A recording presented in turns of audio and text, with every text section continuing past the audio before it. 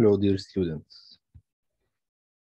Today we are going to talk about a part of a field of mathematics called statistics. Consider a discrete set of data. What is the difference, first of all, what is the difference between discrete data and continuous data?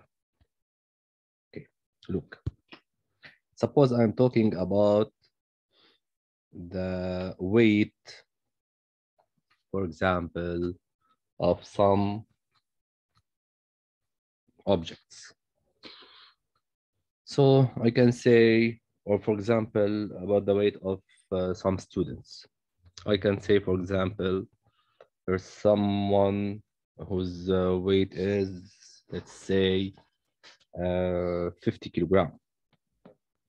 Another one, suppose I have 20 students in the class Another one is also 50 kilogram, and the other is 51. There's one with 52. There are four students of weight for 54 kilogram. Okay, in this case, I am talking about, let's say one of them 57. There is uh, three students of 62 kilogram, and so on until I finish the 20 students. Here I'm talking about what do we call discrete data. Hmm? I'm specifying exactly how many do I have of each mass or each weight or each category. However, when the population or when the uh, the number of students or number of objects is uh, somehow large, then I am obliged to use continuous data. For example, suppose I have 1,000 students. I can't precise the mass of each one and write the answer. I can take the masses or the weights of each of them but I can't report it one by one. So instead, what do I do? I say those who has the mass from 50, let's say, from 50 to 55, for example. This writing, it's called an interval, you will take it later. This means those whose uh, weight starts from 50 kilogram until before 55. Let's say I have 230 students out of the 1,000. And those whose weights are between 55 and 60 are 360 students, and so on. In this case, I'm talking about continuous data. Of course, discrete data is uh, more accurate, but not always can be uh, used. Now, our study this year is limited for discrete set of data. Suppose I have a discrete set x1, x2, x3. These are the values until final value xn, for example, unknown. Okay. We have to study these vocabularies. The population, the individual, the character, and the nature. First of all, the population is that the object or the group of objects under study. We are applying our study. You know statistics? This field, this part of the statistics is uh, to study certain uh, idea. Okay? Suppose that the group of students, we are talking about the group of students, the masses, the weights, we said, or uh, for example, uh, the height of the students or the uh, IQ of the students or the grades of the students or whatever. So on, in all these examples, the population is the set of the students. Okay, we are targeting the students. So this is the population Then the population is a group of objects under study. These objects may be human beings, maybe maybe animals, maybe uh, uh, any type of objects, maybe cars. I don't know, but it's a group of something that uh, is uh, uh, خاضع يعني uh, للدراسة. طيب. What about the individual? The individual is always one element of the population. يعني if the population is مثلا students, then the individual is one student. If the population is, uh, let's say, uh, doors, then it is one door. Okay. However, what is the character? The character is that uh, is that the subject of the study. Is that the idea that we are studying? Uh, يعني إذا كان if the population is the students, what are we studying about students? Um, maybe their ages, maybe مثلا their grades, maybe uh, their uh, weights, maybe their uh, IQ, as we said before. There's uh, مثلا ممكن uh, لون البشرة I don't know. Uh, many many things. What about uh, if we are studying, uh, for example, something about cars? If the population is cars, what are we studying about these cars? What is the character? يمكن تكون الكاركتر maybe uh, قوة الموتور تبعك السيارة كم حصان for example أو the colors of the cars يعني كم أيهن أحمر وأيهن أخضر وأيهن This is the character then. The subject of the study. And the nature of this character, it's maybe described in quantities or inequalities. يعني ممكن تكون نوعية أو كمية. كيف يعني؟ Let's take an example. شو الفرق بين النوعي والكمي؟ أوكي أنا اذا عم بحكي أنا عن cars أوكي قلت هول الكارز اللي قوتهم 16 أو اللي قوتهم 20 أو 24 أو مثلا 30 أوكي؟ هاو ماني طلعت أنا ب قدام البناية عندي وعم بعمل ديسكشن طلعت في عندي شي 10 سيارات 10 cars.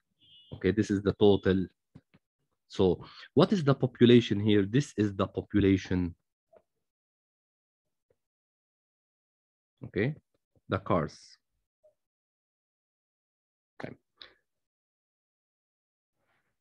anyway حتى ما نفوت بهذا التفصيل تبع البوبوليشن هلا بعد شوي بناخذ الاكزامبلز ونشوف. أوكي؟ حتى ما نغلط بس. نحن هون عم نحكي عن الكارز بس. عن شو عم نحكي عن الكارز عن السترينث اوف ذا car let's say. In terms of something let's say كم حصان أو شيء طيب how many cars let's say I have لقيت بالمنطقة تحت عندي في ثلاثة قوتهم هالقد وفي أربعة هالقد سبعة اثنين تسعة ووحدة قوتها 30 okay this is the number of cars what do I mean by three I mean that we have three cars whose uh, strength is 16 وفي عندي four cars whose strength is 20 so this is called the number of items we also represent it by the word frequency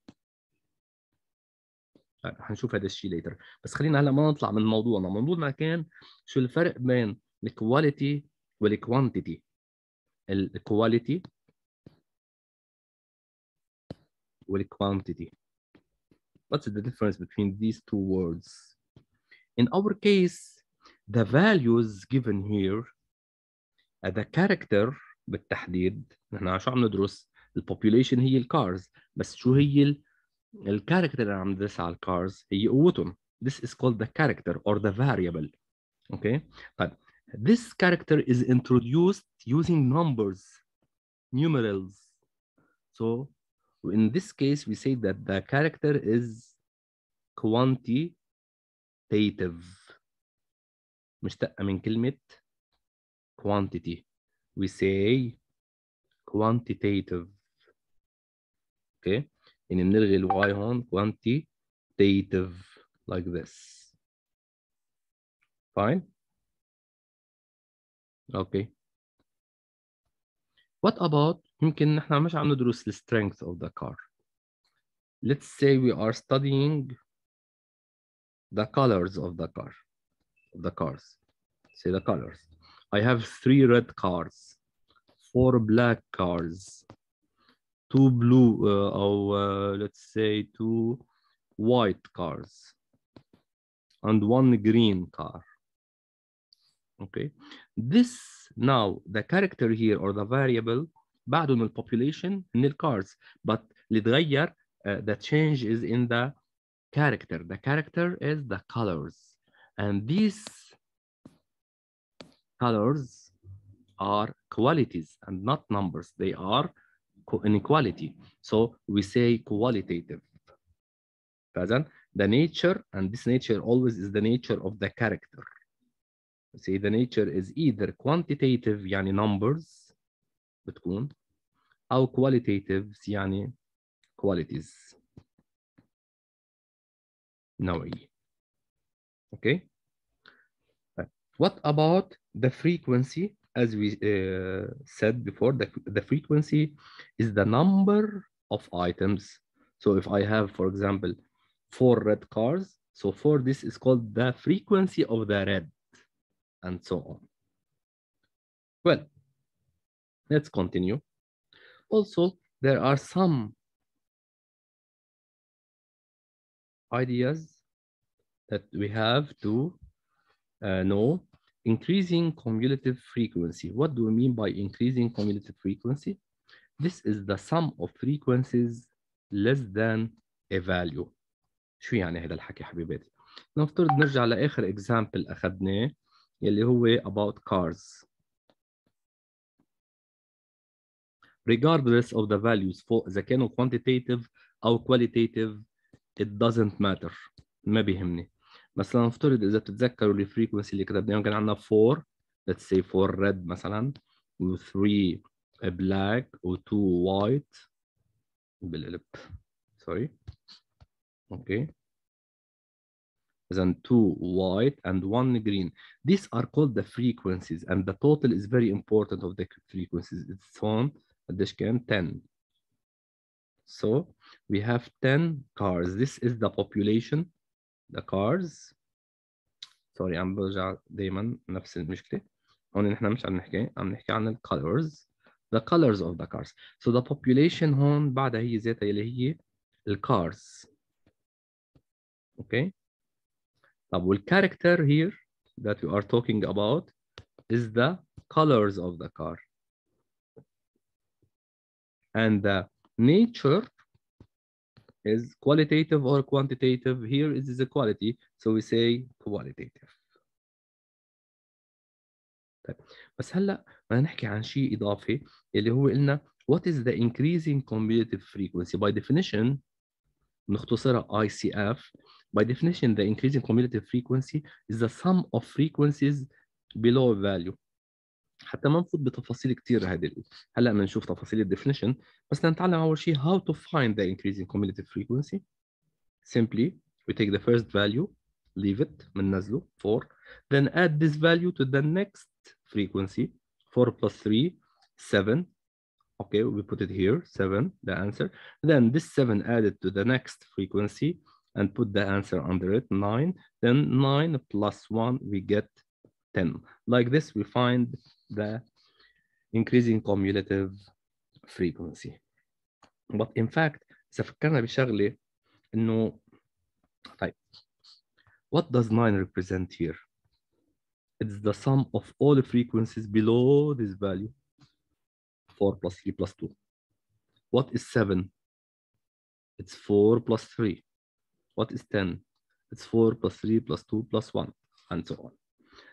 Also, we have something called the decreasing cumulative frequency. Okay? The decreasing cumulative frequency. We have two ways, in fact, to find the decreasing cumulative frequency. Or we take the same way as we said before, but we start from this uh, side. 1, then add 1 to the previous frequency, we get 3, and add 3 to the previous frequency, we get 6, then add 6 to the previous frequency, we get 10. Or we have another way. What is the second way? نوسع نشوف كيف بنعمل decreasing cumulative frequency in another way. Simply DCF. We can start by the total here. We put here the total.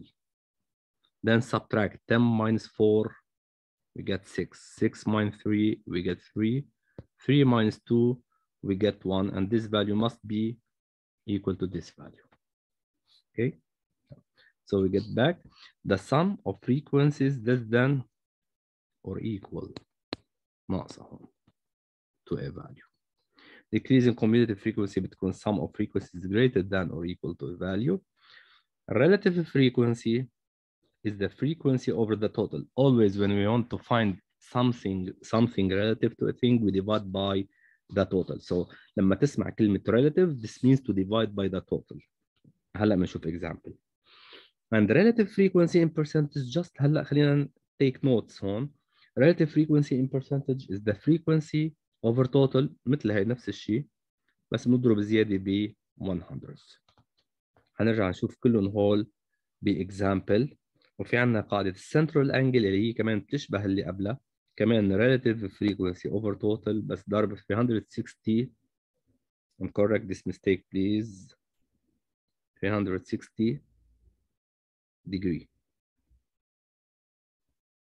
okay because it's an angle هلا بنشوف كيف بعد شوي طيب now let's consider this example consider the following ages of 20 students in a certain class this is a set of discrete values بدنا نجمعهم نحن in table السؤال بيكون set up the table of frequencies بس قبل هذا الشيء خلينا نحدد what is the population what is the population على مين عم نعمل الدراسة نحن على 20 students so the population is the set of the students of the class individual بيكون one element of this population it's one student the character شو هي الصفة we are studying the ages of the students and what about the nature is it a quantity numbers يعني أو values it's the numbers so we say quantitative what about the size of this population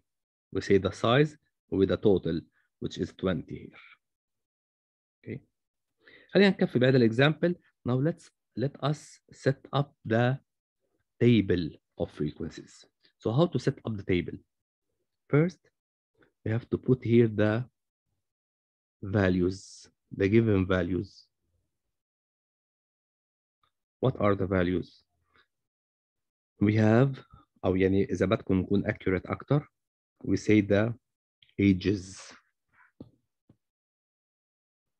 what are the ages we have in ascending order اصغر وحده 14 then 15 then 16 then we have also 17 and here we will take the total later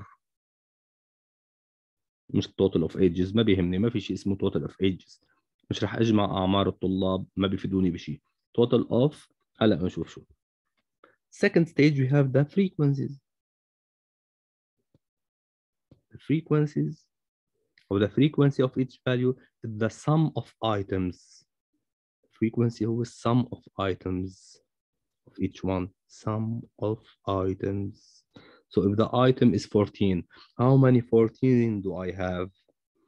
14 then 3 4 5 6 7 8 9 I have 9 14s this is the frequency of the value 14 what is the frequency of 15 1 2 3 4 5 6 7 how many 16 do I have? One, two, three. this is the frequency of 16 and how many 17 1 and the total is 20 add them you get 20 now this is the frequency. What about now? If we want to find what do we call the relative frequency do you remember the relative frequency the relative frequency let's go back uh-huh. this is the relative frequency it's frequency over total times 100 okay frequency over total times 100 sorry, uh, this is the percentage relative frequency. However, the relative frequency, it's frequency over total only. So all what you have to do is to divide the frequency by the total in each case. In the first part here, we divide 9 by 20. We can leave it as a fraction or write it in a decimal form, 0.45. The second one, 7 divided by the total, 7 over 20. And if you want to write it as a decimal, it's 0.35. Then 3 over 20, which is 0.15. Then 1 over 20, which is 0.05. And all, anytime, anytime you add up the values of the relative frequency, the total must be 1. ليش؟ لأنه هو 20 over 20 كان. Okay? So uh, if you try and add them, you will get one. What about what about the percentage relative frequency? Percentage relative frequency. To find the percentage relative frequency, in fact, it's the same as the relative frequency, but we multiply by 100%. So what do we get here? 0.45, it becomes 45%. Here, 35%, 15%, 5%. The total is, of course, 1 times 100. It's 100%. And finally, let's find, let's find, what do we call the central angle? okay the central angle central angle to change the color here central angle. To find the central angle is to divide the frequency by the total and multiply by 360 instead of 100 okay? Is that clear? We divide each frequency by the total and we get this value then multiply each of these values sorry, by 360. For example, the first one we have 0.45 multiplied by 360, you get 162 degree. Then 0.35, we multiply it by also 360 degree. What about the third one? 0.15. We multiply it by 360 degree, we get 54. And finally, the last one, uh, gives 18 degree. Now, if you add them up, the total must be 360 degree. Let's check this. 200 here, 288, and here 72, exactly we get 360 degree. This is called the central angle. Now, let's find the increasing cumulative frequency and the decreasing cumulative frequency.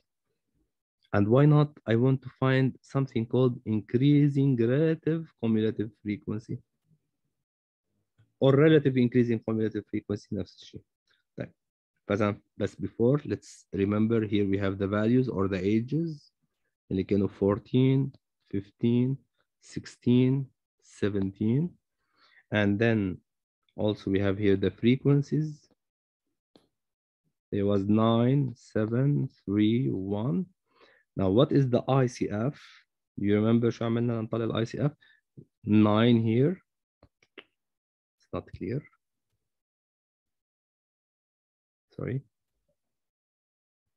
I erased everything again so here the Here the frequency.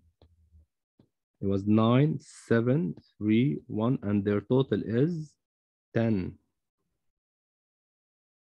Now, we want to find the increasing cumulative frequency, 9, then add 9 to 7, get 16, like this. Add 16 to 3, we get 19. Then 19 to 1, we get 20. We don't use total for ICF. What about decreasing cumulative frequency? We start with the total. We put it here. 10. Then 10 minus 9. Uh, sorry, the total is not 10. Sorry, it's 20. 20 minus 9 is 11. 11 minus 7 is 4. 4 minus 3 is 1.